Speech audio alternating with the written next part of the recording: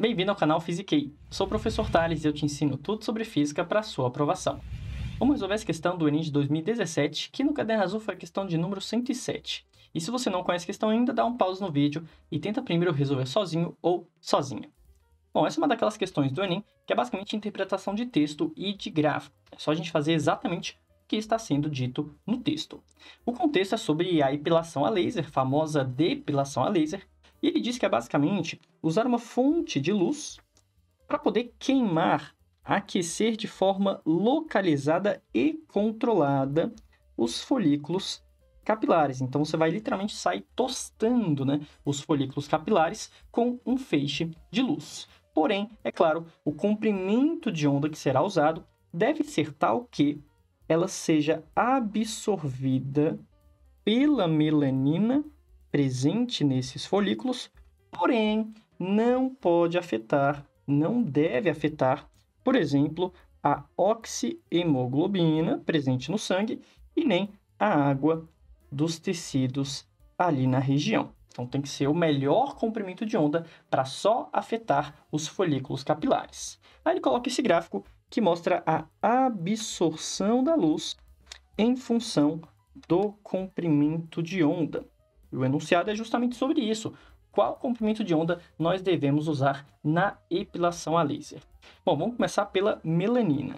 Se eu quero que essa luz seja absorvida pela melanina, então a gente percebe aqui que pelo gráfico que em todos os comprimentos de onda haverá uma certa absorção, ou seja, tanto faz. O ideal, pensando apenas na melanina, seria alguma frequência né, ou comprimento de onda aqui mais próximo dos 400, 500 ou 600, que seria onde a absorção seria maior. Porém, em todos os comprimentos, a melanina vai absorver a luz e vai queimar. Bom, o problema então seria na parte da oxihemoglobina e da água.